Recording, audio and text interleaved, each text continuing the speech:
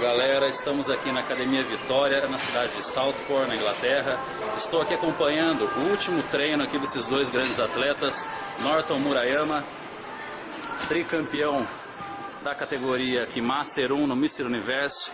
Acabou de fazer aqui a sua série para deltoide posterior. E está aqui o Osírio Júnior. Ano passado ficou em terceiro lugar, buscando uma posição melhor aí agora, né, Júnior? É isso aí, Rodolfo. Vamos ver se a gente consegue uma classificação melhor nesse final de semana nesse Mr. Universo, né? Então vai lá e treina, meu filho. Vai lá que cada repetição faz a diferença.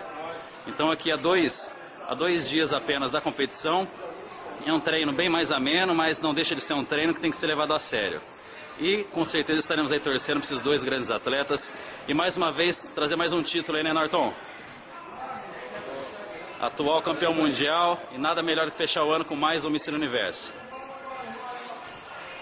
E para vocês aí que viajam e não treinam, procurem uma academia. Sempre vai ter uma na cidade que vocês forem, seja no Brasil, ou seja na Inglaterra, ou até no fim do mundo. Sempre vai ter uma academia.